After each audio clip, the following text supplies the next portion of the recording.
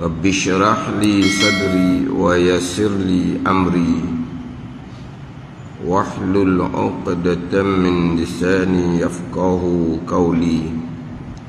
سبحانك لا علم لنا إلا ما علمتنا. إنك أنت العليم الحكيم. ولا حول ولا قوة إلا بالله العلي العظيم. Kitab Bidayatul Hidayah Muka surat tujuh belah Baris yang kelima belah daripada atas. Muka surat tujuh belah Baris yang kelima belah daripada atas.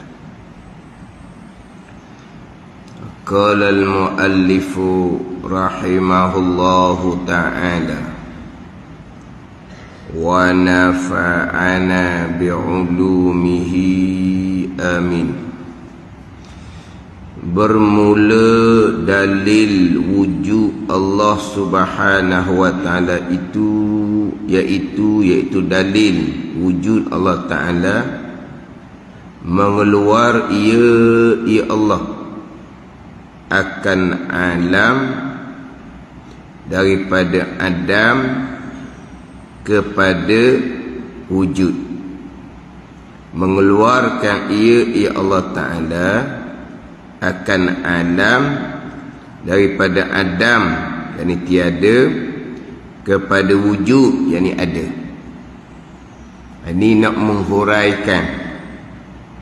Ha, dalil bagi sifat yang pertama dalil Allah subhanahu wa ta'ala bersifat dengan sifat wujud.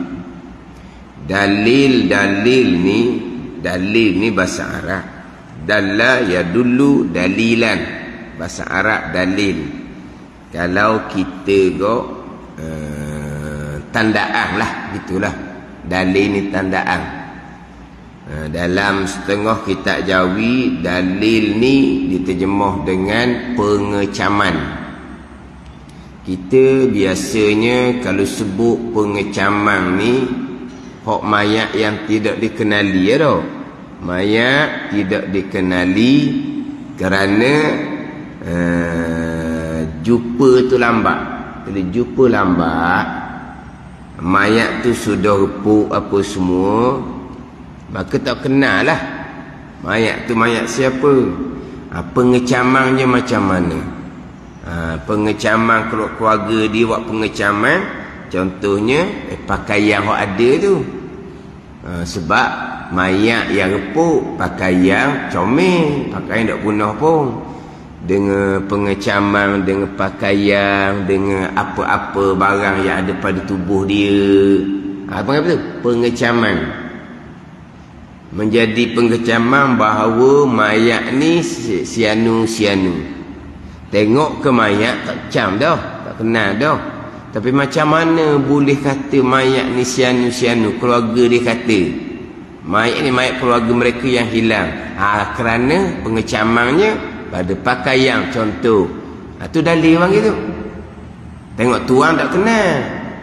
Ha, tapi macam mana boleh kata mayat ni mayat keluarga dia? Ha, ada pengecaman ni panggil dalil, tandaan.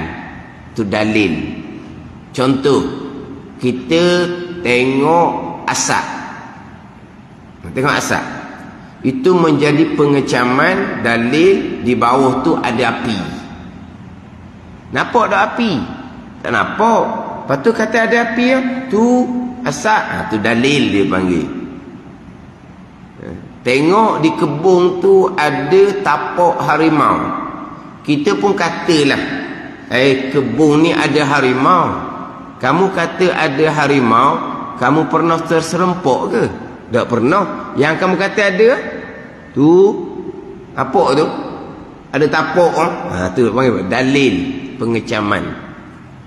Kita masuk masuk masuk uh, dalam hutan tiba-tiba ada ada ni ada ni ni pondok kecil. Dia panggil apa? Bangsal. Bangsal dah panggil dah. Pondok kecil. Ha, ada orang sini. Ada orang pernah tengok? Tak pernah tengok. Tu kamu kata ada orang? Tu pondok kecil ya? Kalau tak ada orang siapa yang buat? Ha, ada. Mana kita boleh kata dalam hutang ni ada orang mari. Tak pernah tengok. Kata kata ada orang mari tu. Tu, ada pondok kecil tu. Ha, tu apa? Apa apa? Dalil pengecaman. Jadi sekarang nak bicara dalil wujud Allah Subhanahu wa taala. Allah taala kita tak nampak. Yang kita berpegang Allah ada tu, ha, mana dalil dia? Sebab Allah tak nampak. Mana dalil kita berpegang Allah ada? Eh, kemudian malaikat pun tak nampak. Macam mana kita berpegang malaikat ada? Adalah dalil dia. Dalil ayat Al-Quran, hadis Nabi. Itu dalil lah kau panggil tu. Malaikat ada.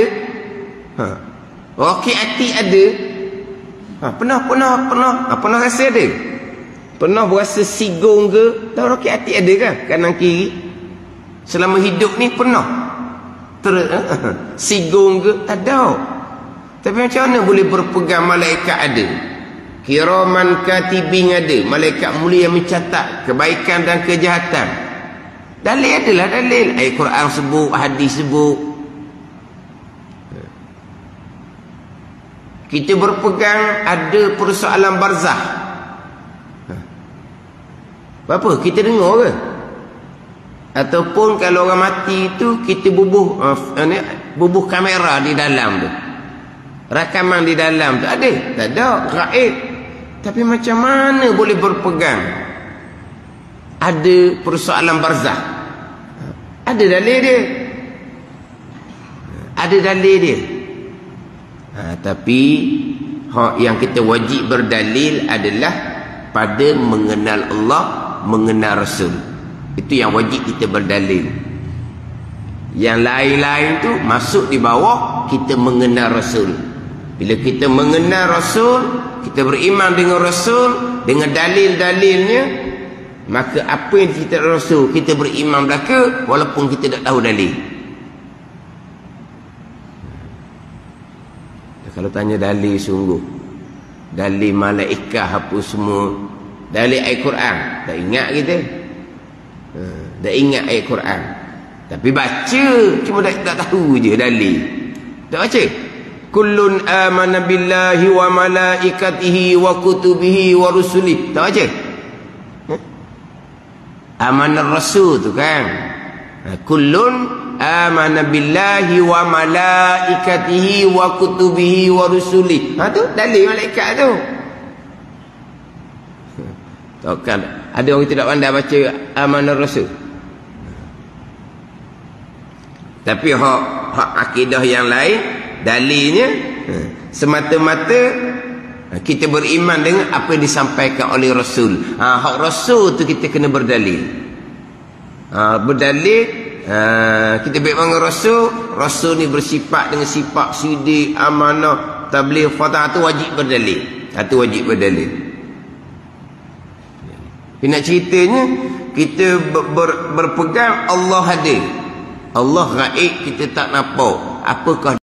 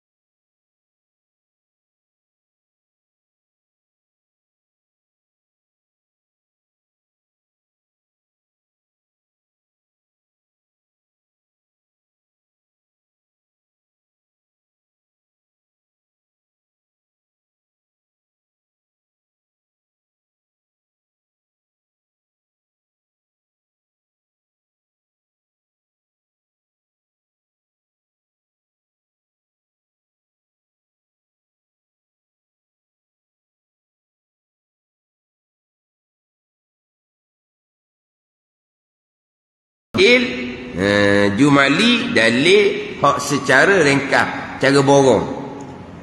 Dan sekurang-kurang dalil jumali itu iaitu apabila ditanyai orang baginya ha ni.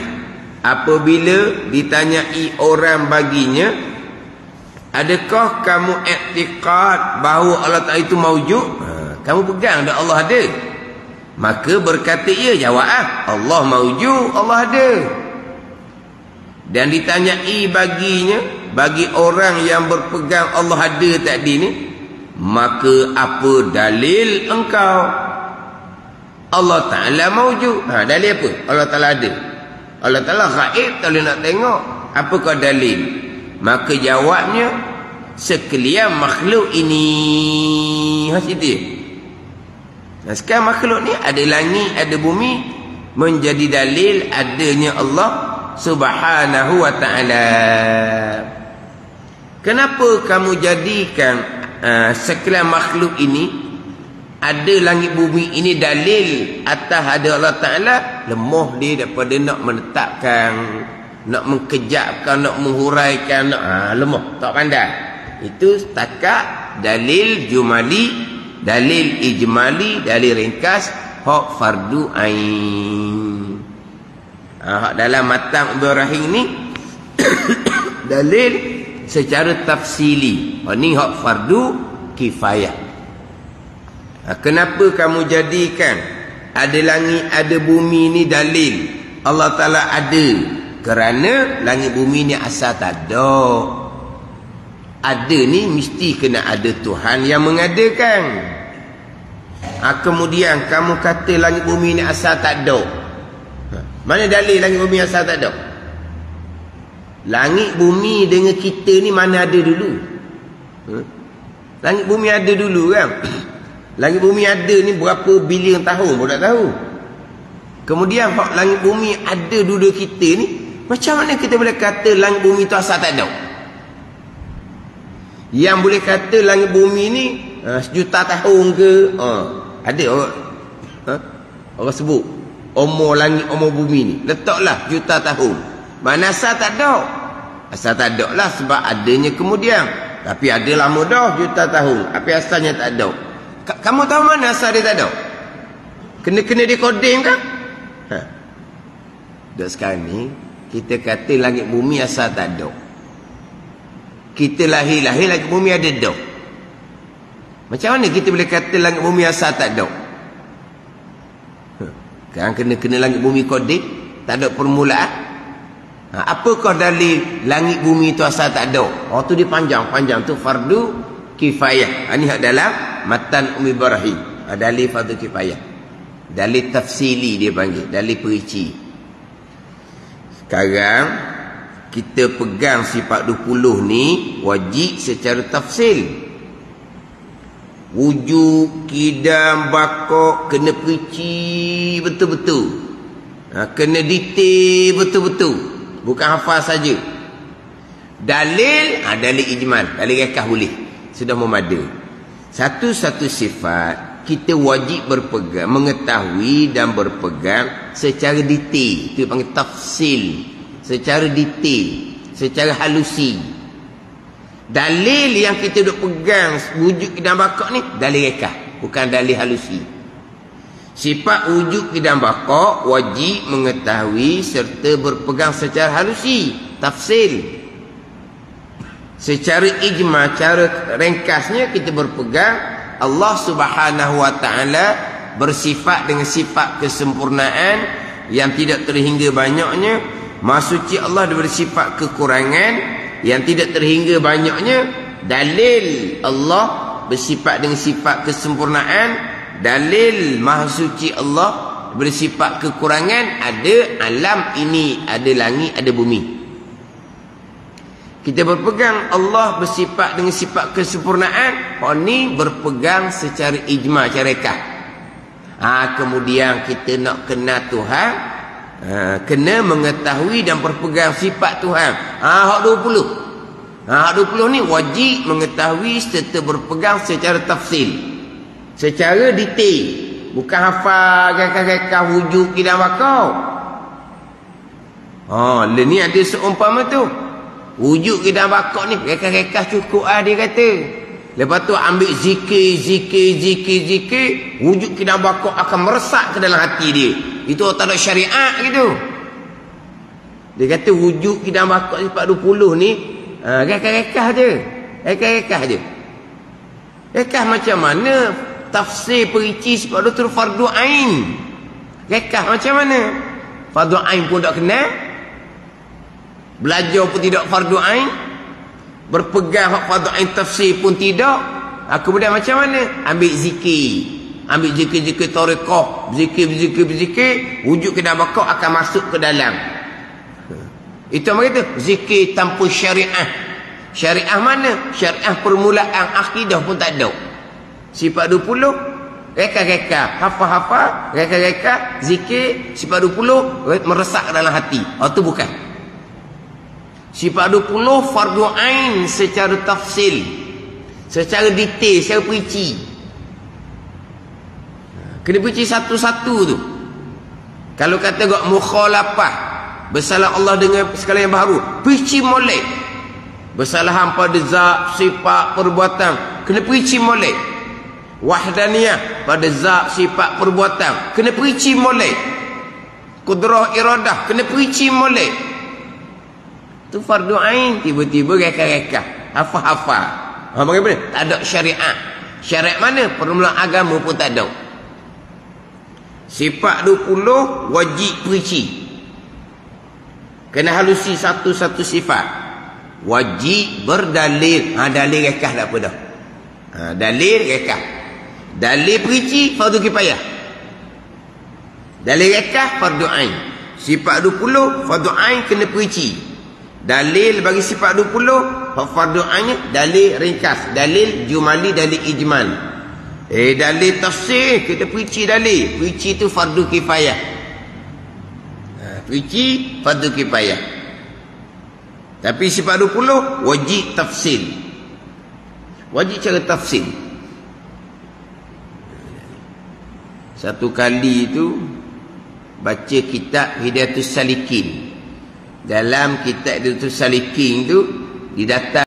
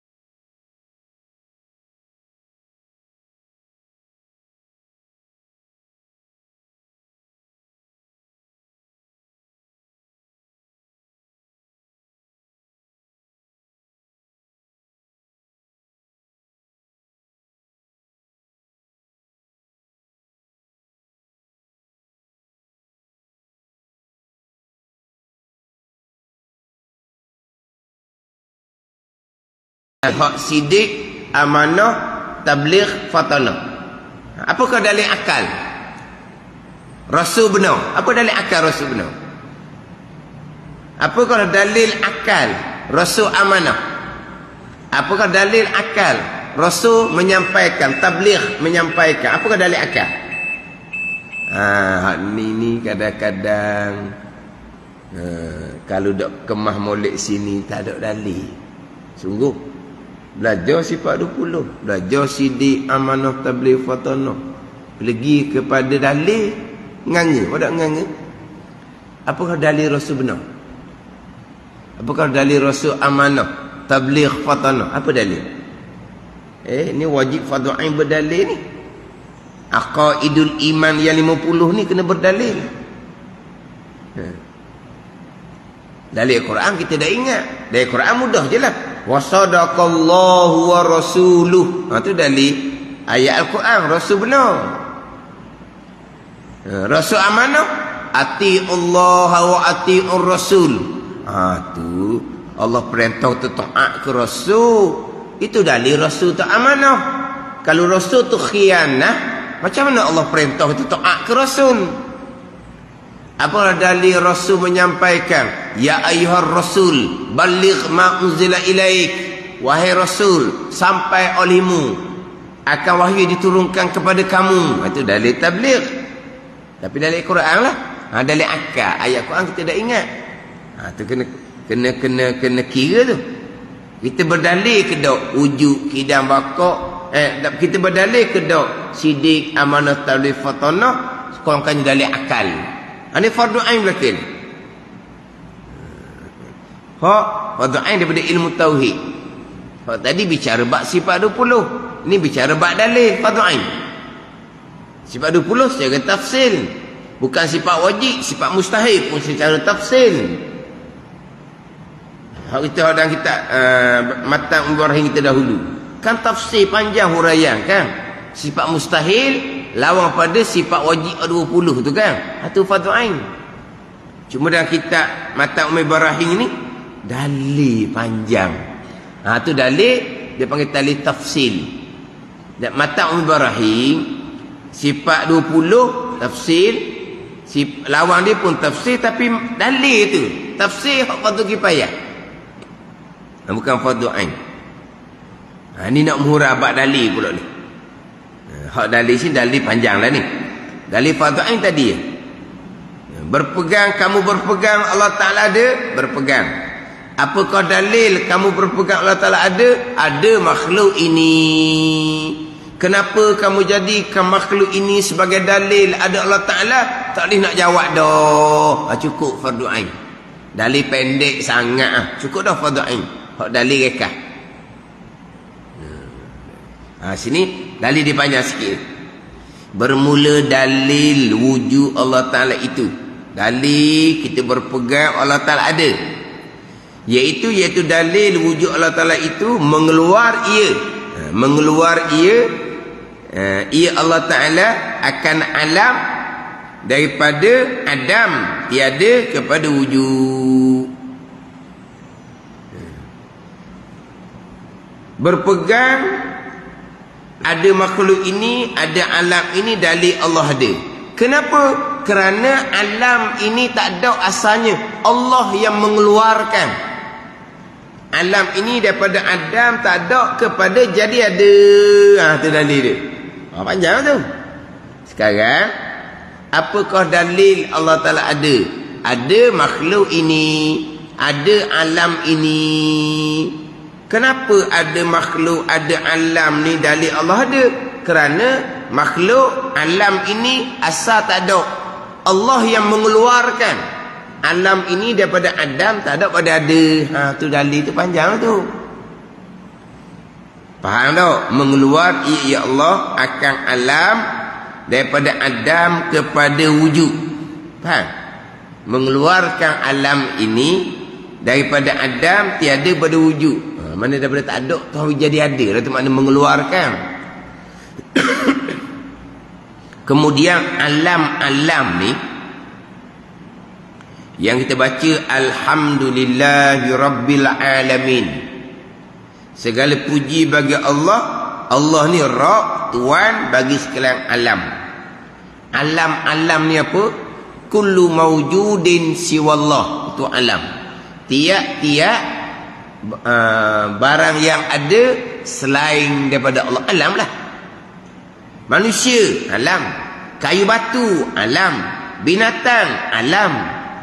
Alam semesta alam juga. Cuma kita ni rabbil alamin tuan bagi sekalian alam kita hanya nampak alam semesta. Alam semesta ni ke apa? Alam langit bumi gitu. Ha? alam semesta apa bintang cakrawala. Alam semesta ni apa? Bintang eh, bintang bulan matahari ya tau. Ha, alam lah tu. Lepas tu manusia ni kayu batu binatang alam lah kena alam ni kullu mawjudin siwallah tiap-tiap uh, barang yang ada selain daripada Allah. Itu ha, alam. Termasuklah alam semesta hak langit bumi bintang matahari bulan alam dah ke lah tapi kita sebut alam waktu je. Lepas tu kita alam lah. Dia alam ke makhluk ke uh, hawadis kau tulis je. Alam kullu mawjudin siwallah. Tiap-tiap yang ada selain Allah. Yang ada selain Allah ni siapa yang eh? yang ada selain Allah ni adalah asalnya tak ada baharu. Dia panggil hawadis. Yang baharu ni ada Allah jadikan dia panggil makhluk. Makhluk ni bahasa Arab. Apa dia makhluk? Ma khalaqahullah tu makhluk. Barang yang menjadi akan dia oleh Allah. Jadi kita ni alam pun ya, hawadih pun ya, makhluk pun ya. Hmm. Jaiz barang yang harus ada tiada pun ya. Mungkinun. Ya juga. Ha, ini kita ni. Banyak nama kita ni. Ha, tapi makna lain alam. Tiap-tiap barang yang ada senda Allah. Ha, ni kita alam dah. Hawadis ha, perkara yang baru ada. Ha, kita juga.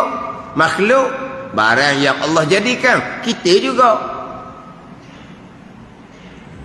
Jadi alam ni ha, ha, kullu mawjudin siwallah Tiap-tiap benda yang ada nak Allah.